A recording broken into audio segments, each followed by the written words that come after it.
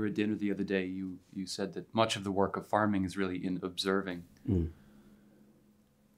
You also keep livestock. I know you keep sheep and pigs, and um, understanding just a little bit about um, tending to sheep and keeping them as stock. Do you find, or have you observed in your observations, that there is something like an elder function amongst the sheep that the old use?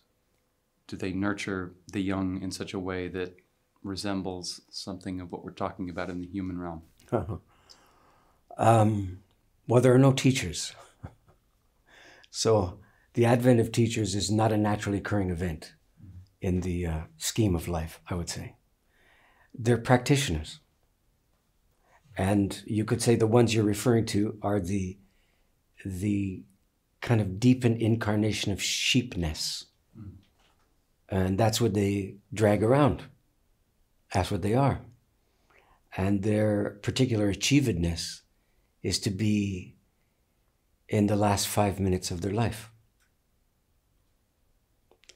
I mean, the mature of anything is five minutes to midnight. The blossom that everybody admires so desperately is the end. And even though flowers are universally looked at as the youth of everything, but they're not. They're, by the time the blossom is there, it's all but finished. And by the time kind of the adamant sheepness of a particularly achieved sheep is there, they're all but done because they've acquired that during the course of all their comings and goings and watching the slaughter of some of their kin and and uh, you know making it through the winters and uh, all, all, the other things that contribute to their capacity to incarnate that thing that I'm calling sheepness, you know. And so they don't teach, uh, nor do they lead in any obvious sense that we would recognize. Simply, they They've exhausted all the other possibilities and they've reduced to being sheep. the very thing that humans will not tolerate. All the other possibilities are extinguished. Now you have to be a person. That's all that's left. Uh, but the sheep don't seem to be um, um, feel belittled by being sheep, and so they don't settle for it. They settle into it, maybe. So the early, the first year mothers are pretty skittish as a rule, and they're not that good at it. And you can see it. But you don't have mature ewes coming over to them and, you know, what you would hope is some kind of movie of the week kind of moment where you see this kind of tutorial going on or nothing of the kind. Because the fundamental responsibility of the youth of everything is to pay attention, not to be instructed, to pay attention. I'll never forget, I want to learn how to make uh, birch bark canoes. And there was an Algonquin man, native guy, at the end of the lake where I lived, who was still making them. Miracle of miracles. And so one day I'm, I'm working alongside him, and he made me buy the canoe. And he said, no discount. Yeah, yeah, cool. So anyway, we're working together, and I think I'm about as lucky as it's possible to be. I'm like, I'm to throw up. I'm so fortunate here, you know, and I'm going away and I'm, and I'm watching him doing. And finally, I ask him, the ultimate white guy question. I didn't know it at the time, but that's exactly what it was.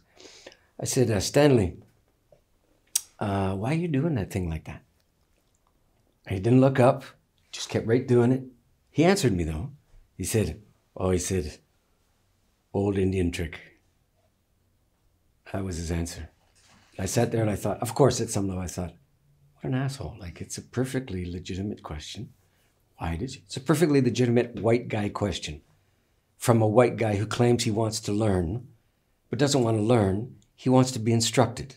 And he wants the super highway towards the skill and the capacity to do it available to him simply by virtue of appearing.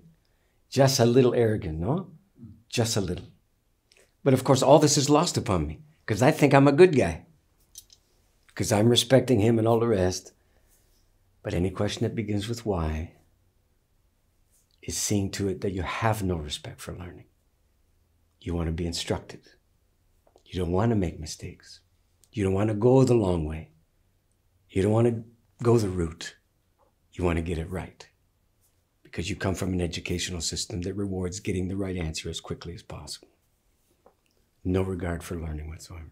So, it stung, you see.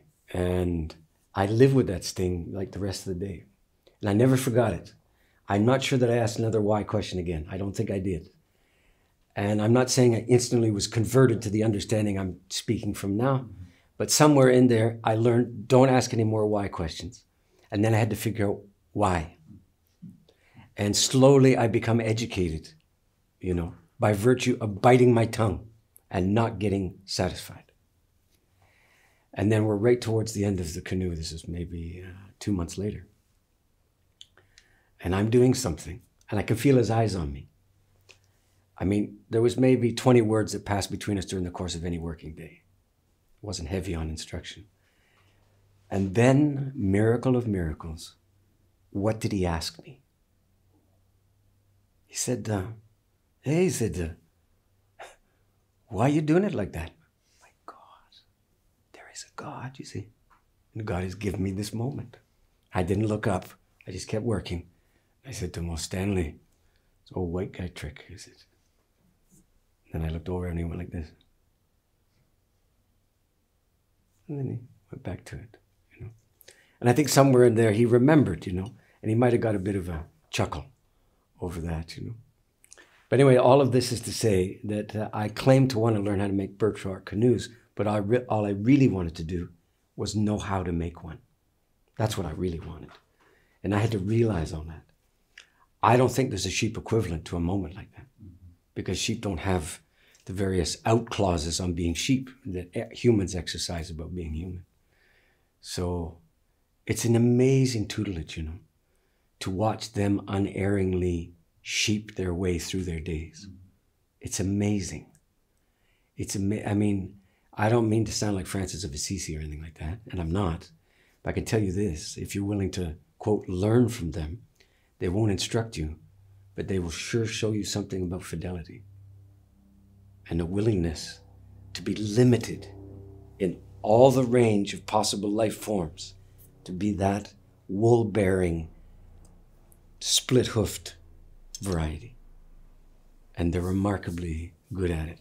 The other half of the story, though, is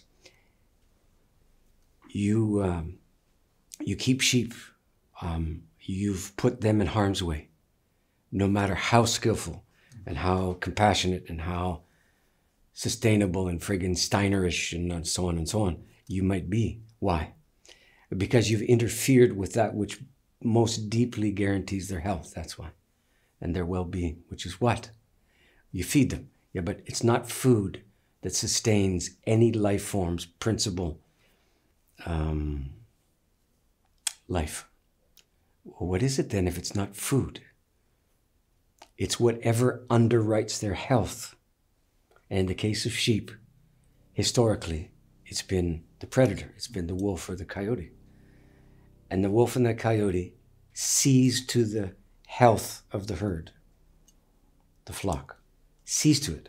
Well, you know how. Everybody knows how, ostensibly, by eliminating the ones that birth and genetics do not favor, right? And the lame and the sick and the old and so forth. Nobody's old in a in a flock or a herd out there. Nobody is. And nobody should be in a domestic herd either. Because what you've done by domesticating is interfering with what guarantees their health while claiming to care for them. So you have to care for them in a way that's so counterintuitive because it doesn't conserve them individually. It serves their health instead, which is to say, you have to take up the work of the wolf, the one that you banished with your fences and your dogs. And, and the, you have to take it up. That, as a human, that is your psychic and spiritual responsibility. Because if you if you deliver on the claim that you hold them in high regard, mm-hmm. sheep, then the way of holding them in high regard is to reinstate what preserves their health. And you do that in the fall by culling from the flock those disadvantaged by DNA and inheritance, and the weak, and the sick, and the lame, and the aged. That's what you do. And those are grievous days when you come to it with this understanding. This is not a sense of you're finally reaping your reward or you wake up every day knowing what you're going to do all day long and that life is going to leave this world through your hands. But if you don't have that in you, you know, stick to carrots. But it's no different with carrots. You put it's the same. When you're thinning, it's the same. It's the same. So so these things are really active and, and there, you know, and I suppose if there are sheep elders, they're not elders because they've been around a long time. But uh, in a domestic flock, I think one of the things that that might make elders amongst that flock is them watching the extraordinary contortions that humans go through, trying to figure out how to be, do right by them. That might deepen their sheep wisdom. Hmm. Just a guess. Just as we trying to do right by them and watching how they are with each other, our capacity to be elders might be deepened as well. And that might be a strange reciprocity that's in the domesticating arrangement, which all the rewilding people miss completely because they demonize domestication. They don't know what they're looking at, my humble uh, estimation.